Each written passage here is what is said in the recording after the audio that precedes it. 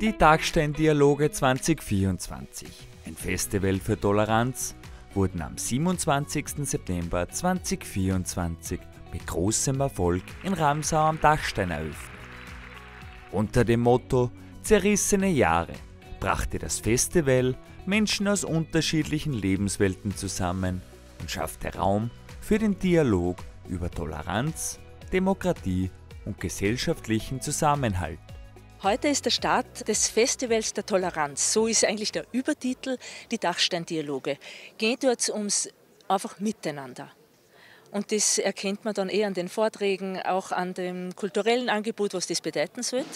Und um das wird es auch gehen die nächsten drei Tage. Toleranz ist ein wichtiges Thema. Toleranz ist ein Thema in einer Welt voller Kriege, in einer Welt mit gespaltenen Gesellschaften. Es ist eines der allerwichtigsten Sachen.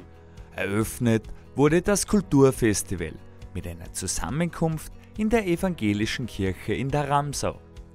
Die Dachsteindialoge basieren grundsätzlich auf dem Projekt Toleranzberg, das wir in Filzmoos vor drei, vier Jahren mit dem Kameradschaftsbund gemacht haben.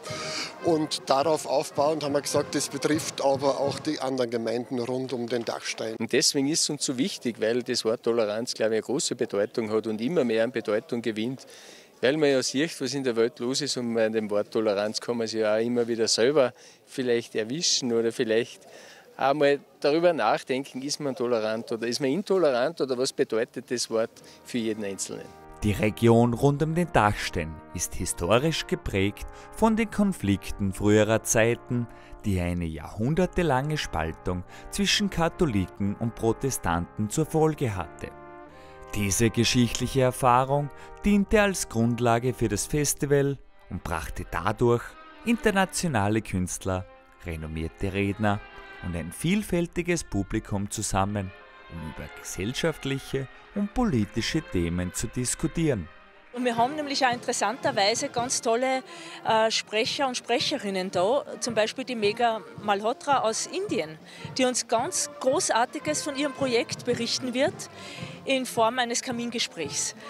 Ähm, wir haben Michael Köhlmeier da, der als Autor weit über die Grenzen Österreichs hinaus bekannt ist. Wir haben Philipp Blondau, Historiker und Philosoph, der auch weiß und, und eigentlich gut zu formulieren weiß, was so die Themen der Welt sind. Mittels dem offenen Ansprechen eines vermeintlichen Tabuthemas unterstreicht man, dass gerade in Zeiten der Polarisierung und der gesellschaftlichen Spaltung der Dialog und das Streben nach Toleranz von zentraler Bedeutung sind. Jeder kann etwas tun und es muss nicht das, die großen Dinge bewegen, man muss nicht die Weltpolitik reparieren oder die Umwelt, aber ähm, man kann etwas Kleines tun für sich, für andere und damit wird das Leben ein ganz klein bisschen schöner.